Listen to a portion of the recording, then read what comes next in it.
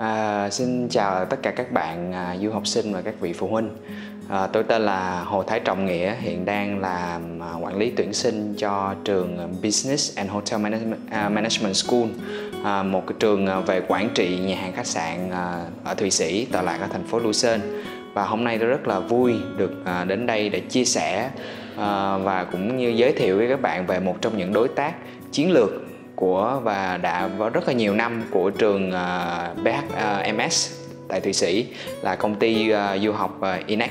INEC có một đội ngũ tư vấn cho sinh viên những uh, những cái cơ hội không chỉ là những cái cái cơ hội làm việc uh, những cơ hội học ở trường mà còn những cơ hội sau sau khi các bạn tốt nghiệp và đội ngũ ờ, về hồ sơ của công ty INEC cũng rất là cực kỳ chuyên nghiệp và đưa ra cho, cung cấp cho sinh viên những những cái thông tin rất là hữu ích. Khi mà các bạn đến ờ, đến với công ty ờ, tư vấn du học INEC và cái cuối cùng là những sinh viên đi từ xuất, được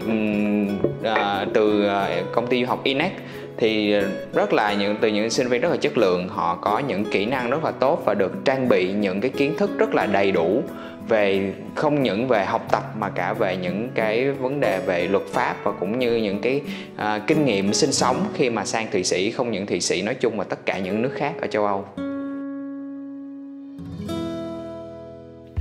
Nếu bạn thấy hay, hãy like, share và nếu muốn biết thêm thông tin, hãy bấm subscribe và nhấn vào cái chuông để được thông báo nhé. Thank you.